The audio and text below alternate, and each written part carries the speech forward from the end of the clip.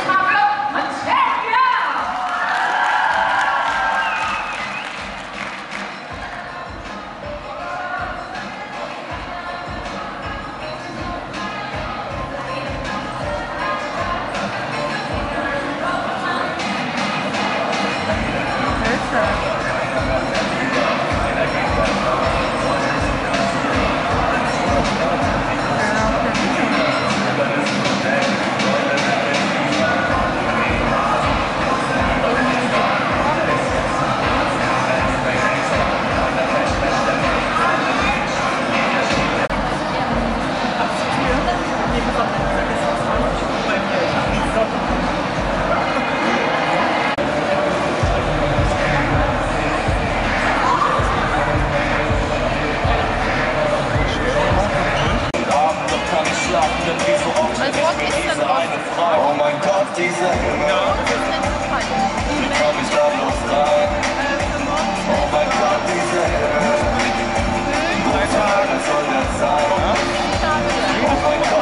äh, rein, wie soll das gehen? Muss ich sein wie Mohammed, Buddha oder Kanye? Kann die Zeichen nicht sehen, kann kein einziges Gebet für Nein verteilen, obwohl doch jeder weiß, Stuhl ist belegt, bin jetzt 30. Keine Angst, ich heirate bald Brüder und Schwestern. Was Gutes bestimmt in den Goldgräbern, ist noch genug für mich drin. Mein neues Haus sieht aus wie der Louvre von